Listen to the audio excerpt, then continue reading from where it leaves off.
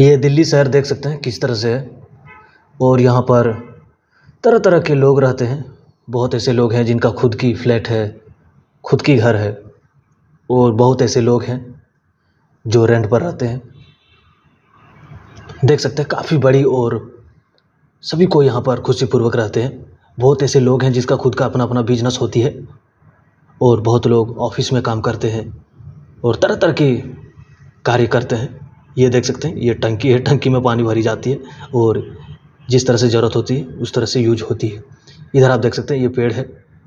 बहुत ही बेहतरीन और काफ़ी खूबसूरत नज़ारा।